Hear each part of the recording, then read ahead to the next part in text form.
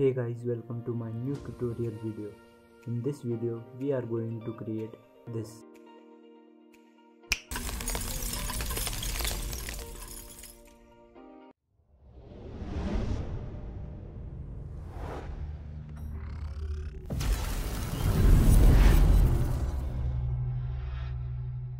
हाँ तो भाई ऐसा इफ़ेक्ट क्रिएट करने के लिए सबसे पहले आपको एक क्लीन फुटेज चाहिए बिल्कुल ऐसी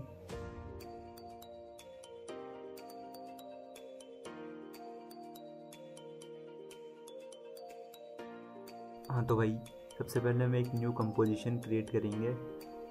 कंपोजिशन की आप सेटिंग चेक कर सकते हैं। और जो इसका टाइम है, उसे हम 15 15 सेकंड रख लेंगे।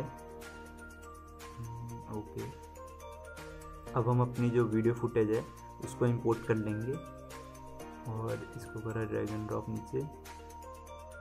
तो भाई, अब हम वीडियो के उस पॉइंट में जाएँगे जहाँ पे हम चुटकी बजाते हैं। तो ये रहा वो पॉइंट अब हम इसमें क्लिक करेंगे कंट्रोल शिफ्ट प्लस टी जिससे कि जो हमारी लेयर है, वो स्प्लिट हो जाएगी। तो अब हम इस लेयर को नीचे लेके आ जाएँगे सेकेंड लेयर पे। और अब हम जाएँगे उस पॉइंट में जहाँ पे हमारा जो बैकग्राउंड है, वो दिख रहा है। तो ये रहा वो पॉइंट अब हम दोबारा क्लिक करेंगे कंट्रोल शिफ्ट प्लस डी जिससे लेयर दोबारा स्प्लिट हो जाएगी। तो ये आ चुका है, हमारा बैकग्राउंड भी आ चुका है। अब जो है, हम इन तीनों क्लिप्स को रीनेम कर देते हैं, जिससे हमें थोड़ी आसानी हो। पहले वाली क्लिप को हम वन रख लेते हैं, दूसरी को टू और जो तीसरी वाली है, उसको हम रख देते हैं बैकग्राउंड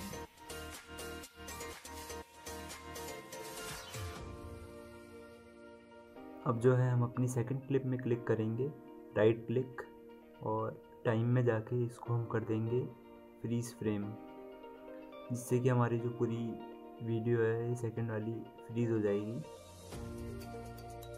हाँ तो अब जो हमारी बैकग्राउंड लेयर है, उसको हम सेकंड लेयर के बिल्कुल ठीक नीचे प्लेस कर देंगे।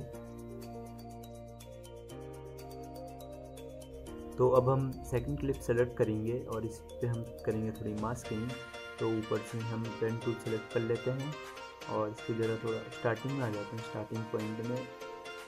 और अब हम शुरू करते हैं अपनी मास्किंग Thank you.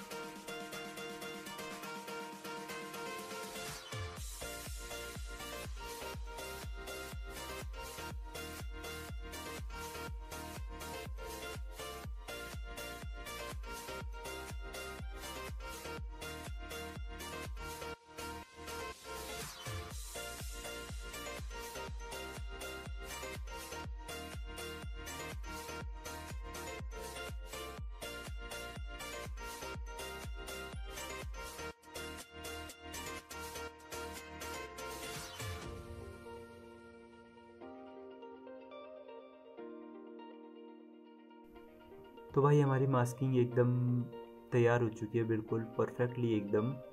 तो अब हम इसी सेकंड लेयर पे एक इफ़ेक्ट ऐड करेंगे, जिसका नाम है सी सी स्कैटराइज ये हम इफ़ेक्ट एंड प्रीसेट में सी सी स्कैटराइज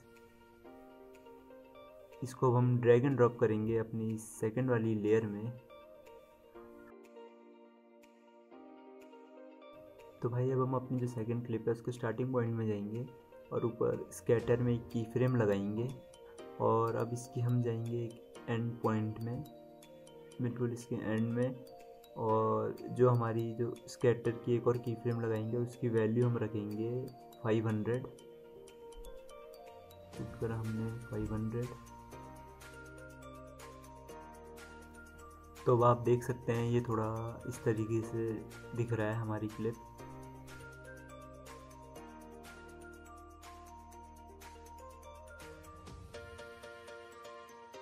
तो अब हम सेकंड क्लिप की दोबारा से स्टार्टिंग में जाएँगे और ऊपर राइट ट्विस्ट में एक की फ्रेम लगाएँगे और थोड़ा एक सेकंड आगे जाके एक और की फ्रेम लगाएँगे और इसकी वैल्यू हम रखेंगे one into two point two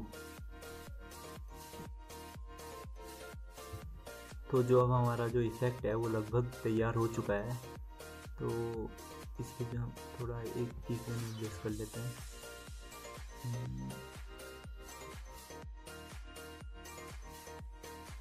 अब जो है हम टी क्लिक करेंगे सेकंड क्लिक में और जो इसकी ओपेसिटी है उसको थोड़ा एडजस्ट करेंगे। थोड़ा एंड में जाके जिसकी ओपेसिटी में की फ्रेम लगाएँगे और पूरा एंड में जाके एक और की फ्रेम लगाएँगे जिसमें हम ओपेसिटी को पूरा ज़ीरो कर देंगे जिससे कि जो हमारे पार्टिकल्स हैं थोड़े स्मूथली वैनिश हो जाएँ।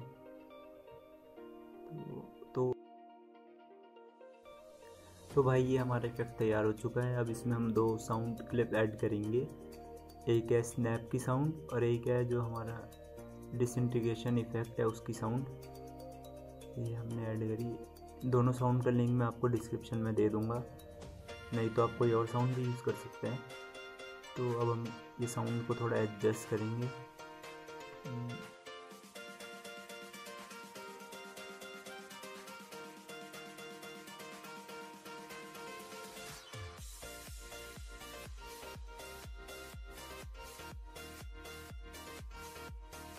तो guys that's it for today अगर आपको ये वीडियो अच्छी लगी तो चैनल को लाइक और सब्सक्राइब करना बिल्कुल ना भूलें। तो मिलते हैं अगले ट्यूटोरियल में। तब तक के लिए टेक केयर बाय बाय